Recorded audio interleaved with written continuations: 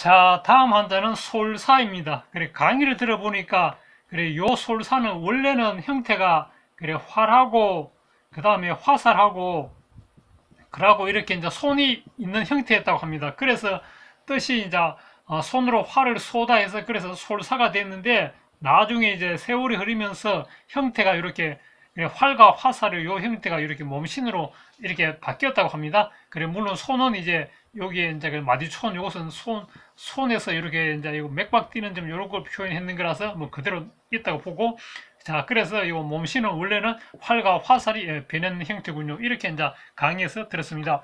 자 그러면은 솔사 들어가는 말 뭘까요? 그래 활을 쏘다 또는 총을 쏘다 솔사 그러면은 이것은 사격이다 하면 되겠습니다. 사격, 사격 선수.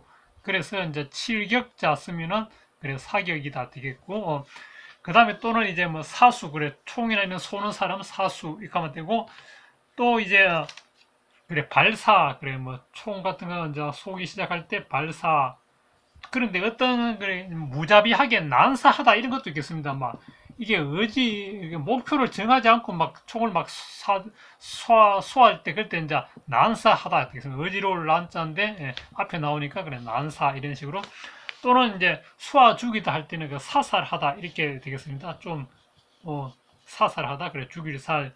이 사살하다는 이제 보통 거기 이제 적장 살리타를 사살하다 이거 입에서 강의에 한번 나오는데 요즘도 그래 나올지 모르겠지만 이거 한번 보겠습니다. 그래 그 책에 보면은 어 이제 몽골이 이제 1차 침입했을 때 이제 몽골 장수 살리타가 침입해가지고 이제 개경이 함락이 위기가 됐는데 이제 고려에서 강화 요청을 하니까 몽골군이 철수하면서 이제 다루가치를 설치했고 그러자 이제 최후 정권은 이제 강화도를 천다고 그러자 몽골에서 이제 2차로 침입했는데 이때 이제 처인성 전투에서 그래 김윤후와 처인, 처인 부국민들이 적장 살리타를 그래 사살했다 이렇게 나오겠습니다. 사살했다. 적장 살리타를 사살하다. 이때 이제 어 그래 사살이 나오겠습니다.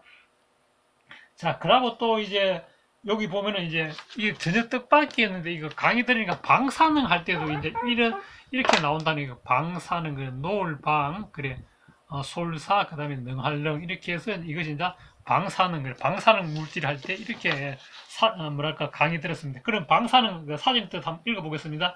라듐, 우라늄, 토륨 따위의 물질이 자발적으로 방사선을 내는 일이나 현상, 어, 일이나 성질 이런 게 이제 그래 방사 방사능 이렇게 이제 한자가 나왔네요.